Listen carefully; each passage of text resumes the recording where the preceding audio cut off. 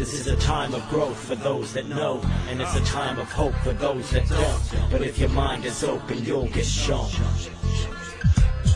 We've had our sights blinded. All of my like-minded people need to get up and discover the right time is now. Just start opposing the powers that arose in ancient days and pave the way to this globe that's so controlled it's sitting most just sit and stare at a television with a distant glare. And I'm ashamed to admit it, I'm a slave to the as much as anybody, but I'm not afraid of it. This is where the change comes and this is where we make some difference. Embrace what's within us and escape from this prison. All it takes is a little bit of faith and a little bit of love to get rid of all the hate.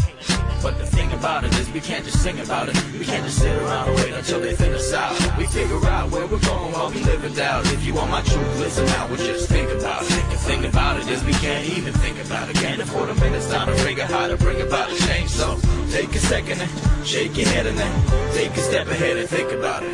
Now the ball is in our court while we sit and watch passively. The face of the earth changes drastically after we clear space at this rate for strip malls and factories. We risk take a cruel fate at a pace beyond gradually. No more crops for us to harvest and feed. Self-sufficiency replaced by clone copywritten seeds. Now ask yourself, how can we be free when the